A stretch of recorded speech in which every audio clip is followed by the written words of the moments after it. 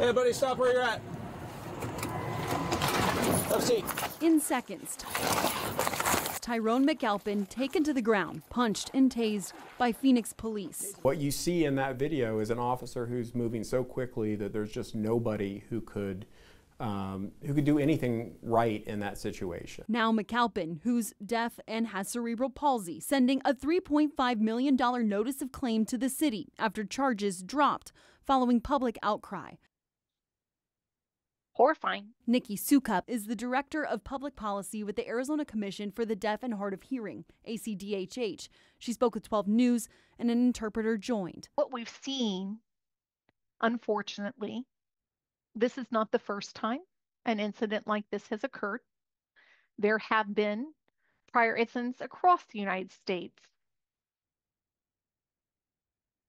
What we see is an unnecessary use of force because of lack of awareness. Prevention comes from training. So having that situational awareness, again, of how to interact with our community is equally as important as how to use a handgun. Training. You testified earlier that you've been trained on how to interact with individuals who are hearing impaired. Is that correct? Uh, light training with people who are hard of hearing.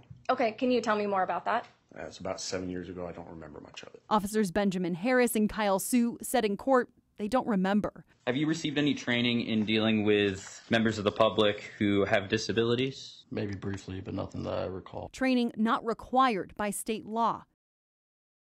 So it is strongly encouraged, but is my understanding that after this incident, there has been discussion. So I'm hoping that we will be able to highlight the need. Unfortunately, due to something as horrific as Tyrone McAlpin's situation. ACDHH tried to get it passed in the legislature a few years ago and made online training videos available. But as of last summer, we recently learned that that has rarely been used. Officer Harris was the first to get to McAlpin. We already established that when you pulled into the parking lot and yelled at Tyrone, he didn't respond to you, correct? Correct. Did you check to see if he had headphones in? I didn't notice. Okay. Did you check to see if there was a reason why he couldn't hear you? No. Did you try to wave him down? No. Did you signal for him to sit down on the curb? Uh, verbally, I did. The community wanting training and tools to prevent this. For the more than 1.3 million people who are deaf and hard of hearing in Arizona.